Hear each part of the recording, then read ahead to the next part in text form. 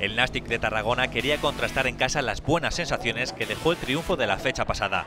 El conjunto catalán recibía al Getafe, un equipo que no conocía la derrota tras la llegada de José Bordalás al banquillo. Juan Muñiz fue un jugador clave en la victoria en el nuevo estadio y es el mejor jugador de la jornada. Juan Muñiz marcó el gol que dio los tres puntos a los locales. El conjunto dirigido por Vicente Moreno está aprovechando la buena forma del jugador asturiano. El centrocampista ha marcado cuatro goles con los que ha dado los dos únicos triunfos del equipo y dos empates. El Nastic consiguió la segunda victoria de la temporada y el gol de triunfo lo marcó de nuevo Juan Muñiz. El jugador asturiano es el mejor de la decimocuarta jornada de la Liga 1-2-3.